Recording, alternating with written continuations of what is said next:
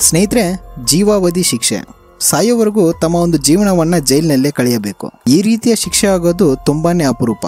ಅದರಲ್ಲೂ ಕರ್ನಾಟಕದಲ್ಲಿ ಒಂದೇ ಸಾರಿ ತೊಂಬತ್ತೆಂಟು ಜನರಿಗೆ ಜೀವಾವಧಿ ಶಿಕ್ಷೆ ಆಗಿರುವುದು ಅಂತಂದ್ರೆ ಸಾಮಾನ್ಯವಾದ ಮಾತಲ್ಲ. ಈ ರೀತಿಯ ಒಂದು ಪ್ರಕರಣ ಆಗಿರೋದು ಕರ್ನಾಟಕದ ಇತಿಹಾಸದಲ್ಲೇ ಮೊದಲನೇ ಬಾರಿ. ಹಾಗಾದ್ರೆ ಏನಿದು? ಒಂದೇ ಸಾರಿ ತೊಂಬತ್ತೆಂಟು ಜನರಿಗೆ ಜೀವಾವಧಿ ಶಿಕ್ಷೆ ಆದ್ರೂ ಯಾಕೆ ಬಂತು ಅನ್ನೋದನ್ನ ನೋಡ್ತಾ ಹೋಗೋಣ.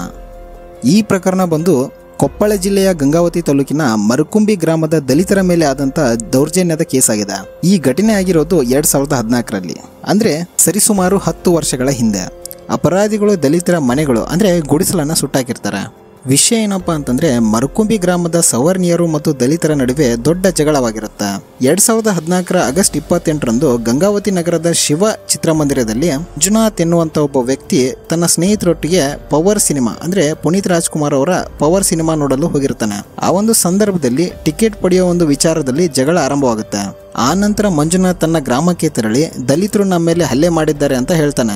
ಆ ನಂತರ ರೊಚ್ಚಿಗೆದ್ದಂತ ಸವರ್ಣಿಯರು ದಲಿತರ ಮನೆಗಳು ಹಾಗೂ ಗುಡಿಸಲ ಮೇಲೆ ಬೆಂಕಿಯನ್ನ ಇಡ್ತಾರೆ.